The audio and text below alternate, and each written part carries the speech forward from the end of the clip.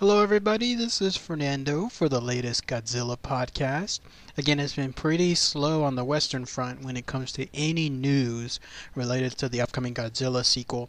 We're still three years away from the thing being released, so news is going to be very slow between now and then, especially since this uh, the guy Gareth Edwards is still working on that little teeny tiny Star Wars movie.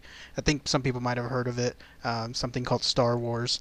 Uh, obviously, that's sarcasm, but in any case, he's going to be busy with that for a while. And no doubt when he finishes that, then that's when we're going to have some stuff started for the sequel.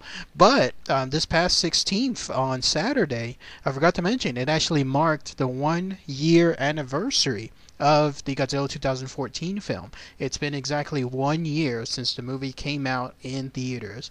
Wow, what a year! How time goes by pretty fast. What I'm going to do is I'm going to watch the movie again this week and that way I can give a perspective one year later on how I feel about the movie, like a little mini review of sorts. So be on the lookout for that this week. Um, otherwise, again, one year anniversary. What are your thoughts?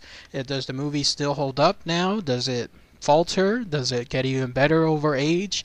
Uh, please let me know, especially when I post my review. I'll be very fascinated, uh, fascinated to hear what your opinions are. So, one year anniversary, Godzilla 2014. So, all right, everybody. Thanks again as always. Take care.